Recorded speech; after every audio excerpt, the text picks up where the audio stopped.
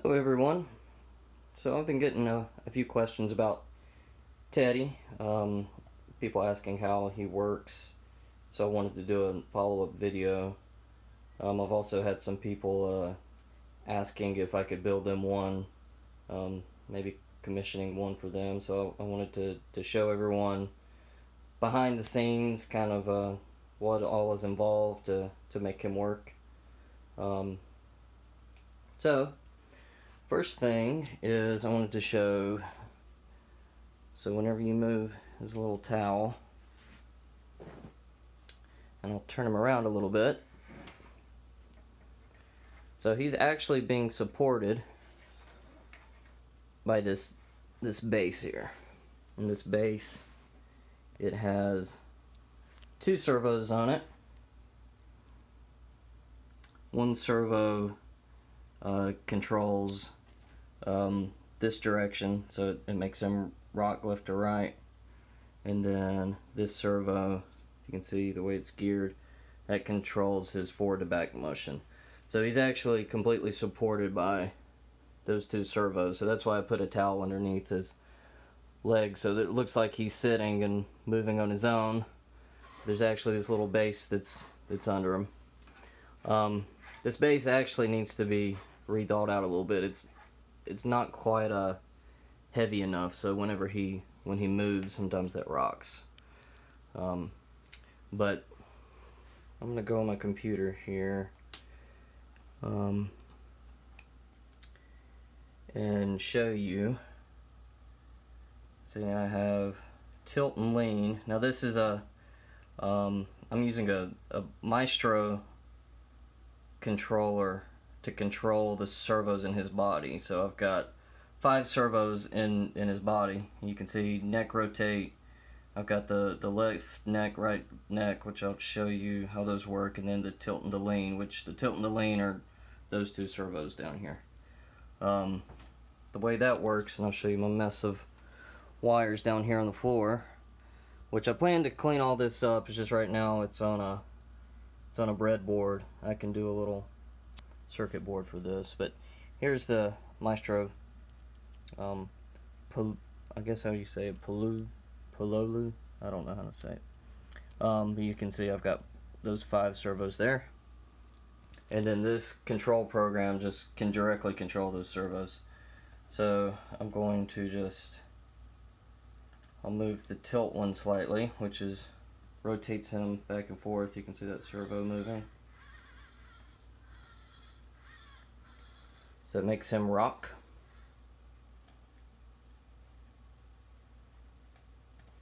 And then this one, oh no, that was just the lean. It's making him lean right there. So we've got a lean, we've got a tilt. Okay, um, and that actually, that moves his, his body. Now for his neck, you can see, let me turn him all the way around here. I have him undone. Where you can see the back of his head. But, let me just lift up his shirt here. Let me just take it all the way off. Just like that. You can see all of his innards are gone. We've got three servos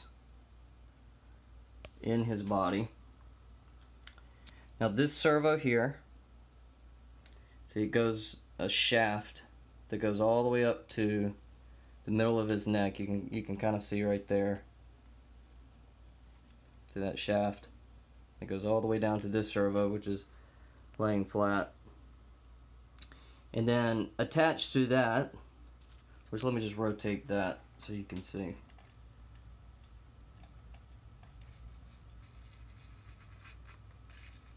So that is that servo right there moving. And that rotates his that rotates his head. As you can see, right here,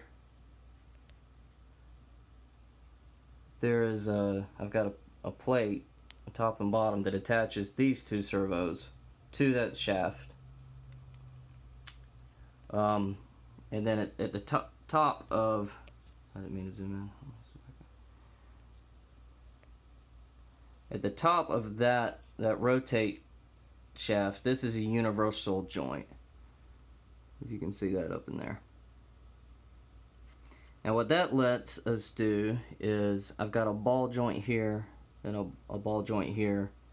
Same going here. So these two servos in combination, if they both go this way, they're attached to the back of Teddy's head. So if these two go up, they force these up and his, his head goes his head goes this way. If those two pull down, then his head comes back. Now if these move in the opposite direction, so say if this one goes up and this one goes down, then his head will will tilt in that direction or in that direction, depending depending on how it goes. Um, and then in his head, it's, hard to see since I still have the the styrofoam on there.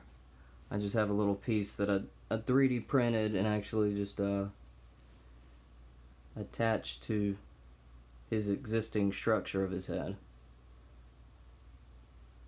If you see,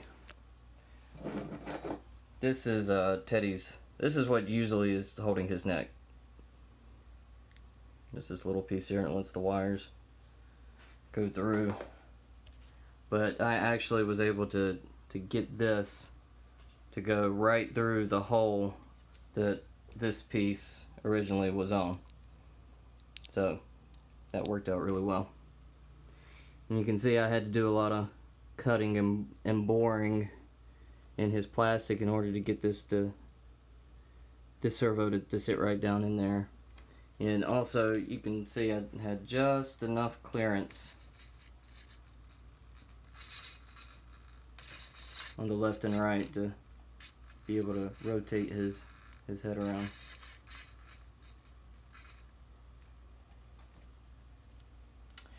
Alright, so um, I'm going to play just a little bit of the animation so you can see all the servos working together.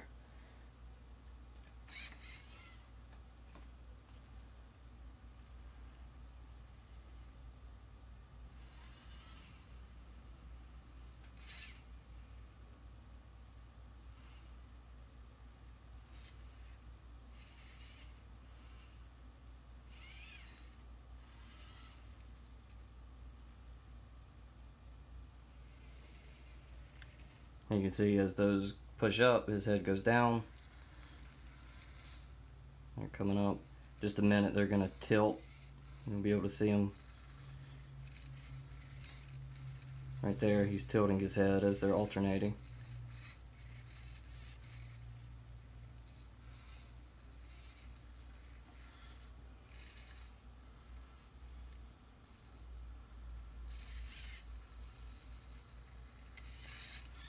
Now I have to be careful whenever I'm doing the programming because I don't want these two servos to get too far out of tilt from each other because if they do they put a lot of strain on that uh, on this piece in here and the universal joint. So I just have to be aware of that on the programming. So for the programming I'm using a program called VSA and what it lets you do is, see I've got his audio track right here. It lets you draw in lines for um, the movement of each um,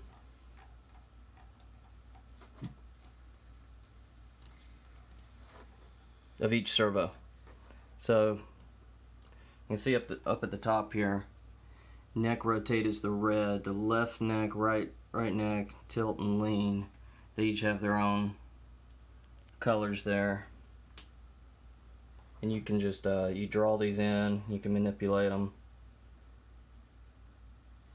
as you need to. I was going to try to zoom in so you can, okay. You can see the the left neck and the right neck. See, they're actually since they're facing opposite directions like that. If you want the head to go down, you've actually got to make them go in opposite directions, up or up or down. If you want them to tilt, they, they've got to kind of move together. I'm not sure if you're gonna be able to see this, but I'll try to play a little bit while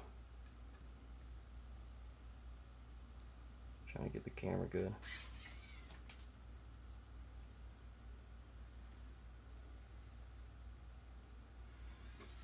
And see, it's kind of hard to get them both in love.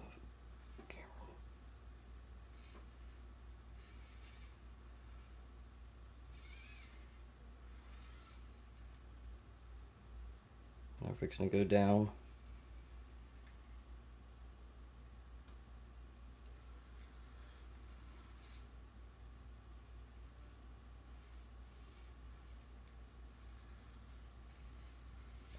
Alrighty. Now, I, I didn't quite get into um, his facial movements in this video. Um, just a brief little talk about that. So I've got a little processor here um, that I'm actually taking the, the audio, the regular audio track, and I wrote a little program that decodes the, the facial movements. Um, and I, I put new servos in his face um, and that's how that works. And I don't know if I'll always leave it like that or if I'll move it over here so that I can actually do the do the programming for the, the facial movements in VSA. But for the time being, that that works okay. It's not it's not great, but it does the job. So, yep, that's about it. If you have any questions about about anything, um, leave them in the comments. Um, I might break him down a little bit further in another video so that you can kind of see more. With them all put together, it's hard to see what's going on. But, but yeah, that's it. Thanks for watching.